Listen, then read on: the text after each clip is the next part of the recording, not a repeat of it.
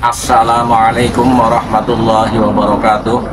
Saudara-saudaraku sebangsa dan setanah air yang kami banggakan Kepada para mukibin kalau mau belain para kabib Dobolowi Silahkan pakai otak dan akal pikiran Anda sebagai manusia. Bukan sekedar pembelaan dengan taklid buta dan silahkan jelaskan ini fakta sejarah bagaimana keterlibatan para ahli sebagai gembong PKI sehingga sedikit mencoreng sejarah Nusantara dengan dalam tanda petik konteks yang sangat memalukan di antara anak bangsa.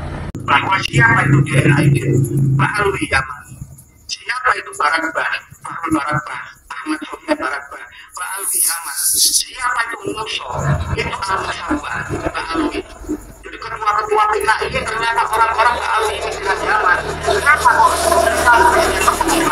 karena negara yang Selatan adalah negara komunis satu-satunya di Jazirah Arab sebelumnya namanya Haidar Abu Bakar Al-Abbas kalau nggak salah wakil presidennya namanya Abdurrahman Asegaf sampai saat ini partai komunis Yaman itu masih keluarga Pak Alwi dan juga Syekh Ali Al Jufri yang sering ke Indonesia.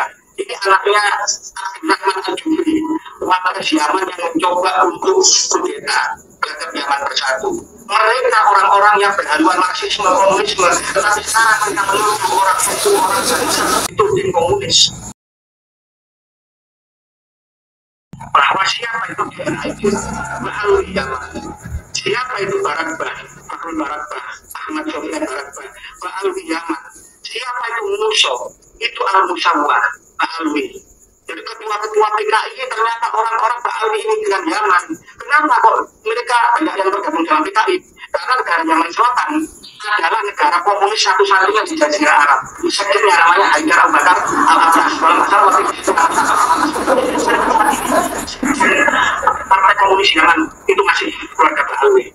Dan juga Syekh Ali Al Jufri yang sering ke Indonesia ini anaknya Jufri warga Yaman yang mencoba untuk bersatu mereka orang-orang yang bagi para kabaib Dobolowi yang selama ini arogan dan sok paling benar silahkan bertobat dan mintalah maaf kepada bangsa Indonesia atas kelakuan konyol kalian selama ini. Bersiaplah Walafu minkum wassalamualaikum warahmatullahi wabarakatuh